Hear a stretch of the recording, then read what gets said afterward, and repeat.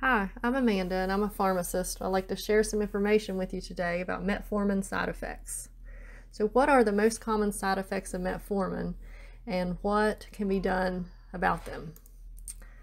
So just an overview here. The top side effects of metformin are diarrhea, nausea and vomiting, gas, weakness, lack of energy, indigestion, abdominal discomfort, headache. So you can see the most common side effects are GI or gastrointestinal related.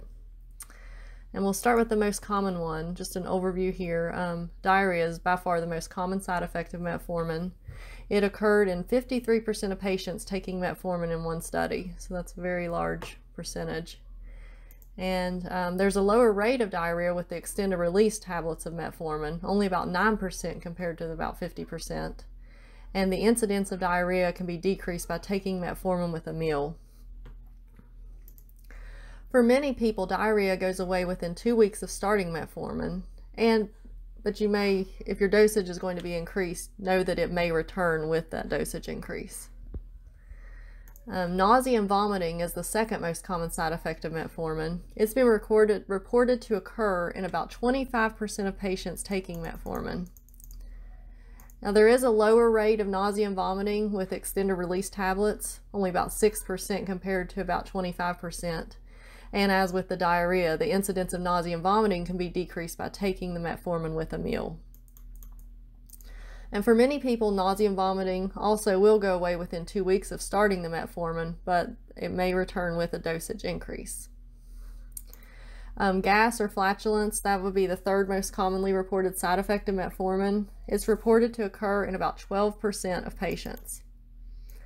Um, for many people, like the nausea and vomiting and the diarrhea, it also does go away within two weeks of starting the metformin, but it may return with the dosage increase. Um, the other GI side effects that are commonly seen with metformin include indigestion, which will be like upset stomach and heartburn, it's been reported to occur in about 7% of patients, and abdominal discomfort has been reported to occur in about 6% of patients, and this is most likely due to, to the gas. And some other common side effects that were on the chart there, um, weakness or lack of energy. This is called asthenia. It's been reported to occur in about 9% of patients, and headaches been reported in about 5% of patients taking metformin. And um, just a kind of an overview here of um, how to decrease the side effects from what, what I've already spoke about here. Um, be sure and take metformin with a meal. Talk to your doctor about starting with a low dose and gradually increasing it. And talk to your doctor about switching to the extended release metformin. And the numbers, the percentages that I've talked about here for the incidents, they can be found on the FDA.gov website with the glucophage, or that's the brand name of metformin, the package insert and I have the link here if you would like to look at that anymore.